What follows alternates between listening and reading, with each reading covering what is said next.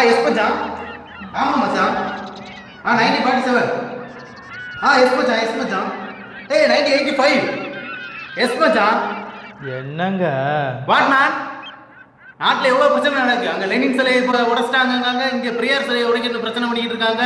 இவ்வளோ பிரச்சனை பண்ணிக்கிட்டு இருக்கு உனக்கு செல்ஃபி தான் இப்போ தேவையா மேம் அட என்னங்க நீங்க? நானே முப்பத்தேழு வயசாகி இப்பதான் ஒரு பொண்ணை பார்த்தேன். அந்த பொண்ணு கூட அழகா செல்ஃபி எடுக்க சொன்னான் நானும் ரெண்டு நாளா செல்ஃபி எடுத்து எடுத்து ஒரு படம் நல்லா வரல. இதில் நாட்டு பிரச்சனை சில பிரச்சனை வந்து என் உயிரை வாங்குறீங்க போங்க அப்படி நீங்க.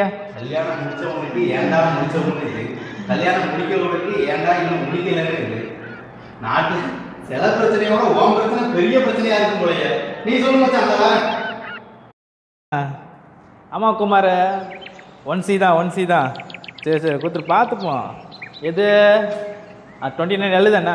அட காசு ஒரு பணமாப்பா. என்னப்பா நீ வேற? அது பார்த்துக்கலாம் கொடுத்துக்கலாம் விடு. ஆ ஒரு நிமிஷம் இரு. என்ன ராஜேந்திரன்? வயப்பக்கம் ஜாலியாகிறீங்க ஜாலியாக இருக்கணும் ஐயா. ஆ வேற? காட்டப்பாரியா காடு காஞ்சு போச்சு. காவிரியில் மேலாண்மை வாரியம் அமைக்கணும்னு சொன்னாங்க. அமைப்பாங்களா இல்லையான்னு தெரியல. ஸ்டெர்லைட் ஆலையை மூடுறோன்னு போராடுறோம் மூடுவாங்களா இல்லையான்னு தெரியல. பிள்ளைகளுக்கு படிப்புக்கும் பஞ்சமாக சுற்றிக்கிட்டு இருக்கு. என்னை பார்த்தா ஜாலியாக இருக்காயா? என்னப்பா நீ வேற இருந்துட்டு நாட்டில் சில பிரச்சனை எவ்வளோ பிரச்சனை தெரியுமா? ஆ அங்கங்கே சிலையை உடச்சி போட்டானுங்க. அதை பார்ப்பான்னா வயக்காடு இதுன்னு சொல்லி சுட்டிட்டு இருக்கிற. வாப்பா! சோறு இல்லைன்னு பேசிக்கிட்டு இருக்க. நீ என்னையா சிலையை பற்றி பேசிக்கிட்டு இருக்க? அட சிலதாயா முக்கியம்? அதுக்கு தான் நீங்கள் இருக்கீங்களே சாமி. இப்போ நல்லா இருக்கும். அட போப்பா நாட்டில் எங்களுக்கு சிலை தானே முக்கியம். சிலையை வச்சு தான் நாங்கள் நடத்த முடியும்.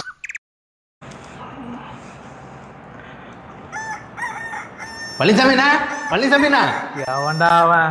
காலாங்காத்தால என்னப்பா? என்னண்ணே விஷயம் தெரியாதா? நாட்டில் அங்கே சிலையை உடைச்சிருவாங்க அங்கே சிலையை உடைச்சிருவாங்க. அவன் சிலையை அவன் உடைச்சிருவான்னு நீ டிவியை திறந்தா அதான் வருது நியூஸ் பேப்பரை திறந்தா அதான் வருது. ஒரே பிரச்சனையா இருக்குண்ணே. ஐயோயோ எப்பா? வீட்டில் அவ அவ தண்ணி இல்லாமல் ரொம்ப அவஸ்தைப்படுறோம். இந்த பாரு கக்கா கழுவ தண்ணி தம்பளில் கொண்டு போகிறேன்ப்பா தயவு செஞ்சு என்னை விட்டுரு. போ. டம்ளர்லையா? சார்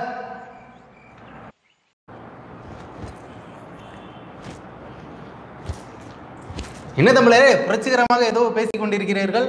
ஆட்கள் வேற யாரும் இல்லை. பயிற்சி எடுத்துக்கொண்டு இருக்கிறேன் எதற்காக பயிற்சி? நீங்கள் தமிழர் தானே? ஐயோ சத்தியமா நான் தமிழர் தாங்க. சத்தம் போட்டு சொல்லிடாதீங்க. வந்தேரின்னு சொல்லிட போறாங்க. தமிழர் என்றால் உங்களுக்கு எப்படி இந்த பிரச்சனை தெரியாமல் இருக்கும்? என்ன பிரச்சனை? நமது மூத்த பெரும்பாட்டன் வெண்டாடி வேந்தர் பெரியார் அவர்களின் சிலையை ஓர் அறிவியலை உடை தகர்த்தெறிவேன் என்கிறான். என்ன திமிர் என்ன தைரியம்? நாடு கொந்தளிக்க வேண்டாமா? அந்த கொந்தளிப்புக்காக தான் ஒரு கூட்டம் தயார் செய்து கொண்டிருக்கிறோம். இன்று மாலை. தமிழரா பெரியாரை பற்றி தெரியாது. பெரியாரை பற்றி தெரியாத நீ எப்படியா தமிழர்? நீங்கள் தமிழர் தானே? ஆம் என்ன சந்தேகம்? தமிழில் இவ்வளவு நேரம் சத்தமாக உரையாடி கொண்டிருக்கிறேன் பயிற்சி வேறு எடுத்துக் கொண்டிருக்கிறேன். என்ன சந்தேகம்? இல்ல பெரியாருக்கு சிலை வைக்கணும்னு சொல்றீங்களே அதான் கேட்டேன். அதெல்லாம் தெரியாது. என் அண்ணன் அவரை தமிழர் என்று தான் சொல்லியிருக்கிறார். தமிழர் வாழ்க பெரியார் வாழ்க. முப்பாட்டன் முருகன். முப்பாட்டன் முருகனா?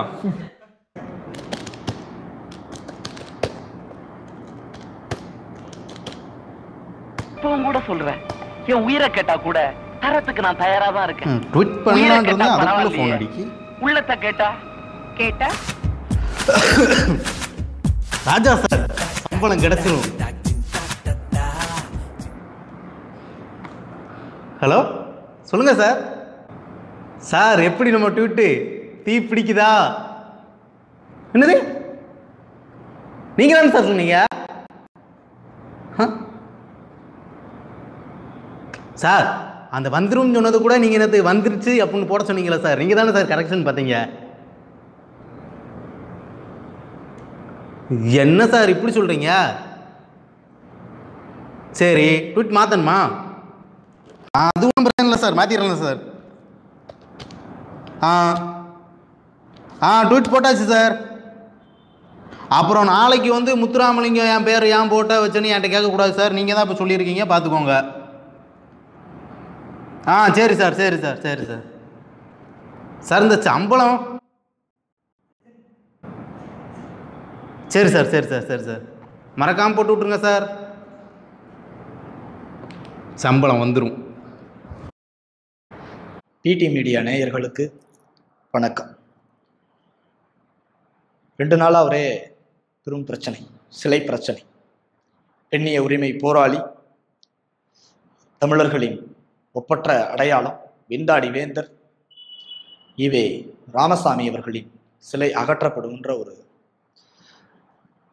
ஒரு சமூக வலைதள பதிவுக்கு தமிழ்நாடே கொந்தளிச்சு போச்சு அந்த பதிவை இட்டவரே நீக்கிட்டு போறார். இல்லை அது எனது பணியாளர் செய்த தவறு.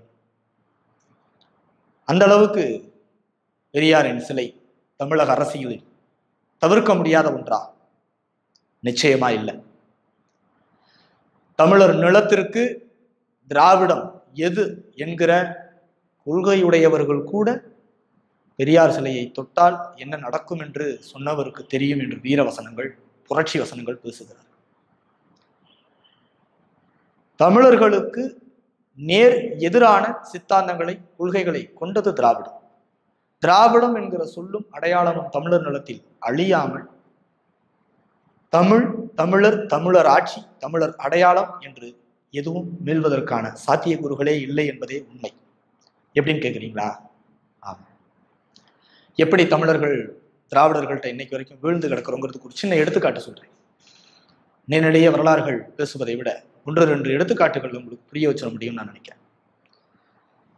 உலகின் அரசியல் என்கிற கட்டமைப்பை ஊர்குடும்பு ஆட்சி என்கிற முறையில் அறிமுகம் செய்தவன் பாண்டியன். பாண்டிய மன்னனின் வீரம் பாண்டிய மன்னனின் ஆட்சி என்பதை தவிர்த்து தமிழர் வரலாற்றை எழுதிவிட முடியாது. சோழன் உலகின் பல்வேறு நாடுகளை தனது குடையின் கீழ் ஆண்ட பெரும் மாவீரன் பெரும் வேந்தன். ராஜராஜ சோழன் கோயில் கட்டிய பிற்கால சோழர்களுக்கு முன்பேகவே கல்லணையை கட்டிய கரிகாலன் முற்கால சோழன் இருக்கிறான். இமயத்தில் கொடியை நாட்டிய சேரன் தமிழர்களின் கட்டடக்கலையை உலகெங்கும் பரப்பிய பல்லவன் இன்னும் பல்வேறு அறிஞர்கள் தமிழர் நலத்தில் உலகே வியந்து போற்றக்கூடிய திருக்குறளை இயற்றிய திருவள்ளுவர் இன்னும் பெரும் புலவர்கள் பாரதியார் பாரதிதாசன் தமிழை தனது சொல்லேர் கொண்டு உழுத பாவாணர். இவரை விட பெரும் தமிழ் அறிவர் தமிழ் அறிஞர் உலகில் இருக்க வாய்ப்பேதும் இல்லை. இந்திய சுதந்திரம் உட்பட தமிழர் விடுதலைக்காகவும் இந்த நிலத்தில் தனது உயிர் நீத்த தலைவர்கள் பல பேர் உள்ளனர். அதன் பிறகு சமூக நீதிற்காக சாதி என்கிற கொடுமையை இந்நிலத்தில் அகற்ற என்பதற்காக தனது உயிரை நீத்து போராடிய பெரும் புரட்சியாளர்கள் இந்த மண்ணில் ஏராளம் ஏராளம். இவ்வாறு இங்கு சிலையாக நிற்க வேண்டியவர்கள் எவருக்கும் இங்கு சிலை இல்லாத போது பெரும் பெரியாருக்கு இவ்வளவு சிலைகளும் இவ்வளவு புரட்சிகளும் வெடிக்கும் என்றால் யார் தமிழர் நிலத்தின் எதிரி யார் அழிக்கப்பட வேண்டியவர்கள் யார் சிலைகள் அகற்றப்பட வேண்டும் யார் சிலைகள் நிறுவப்பட வேண்டும் என்பது உங்கள் சிந்தனைக்கே விட்டு விடுகிறது பிடி மீடியா நன்றி வணக்கம்.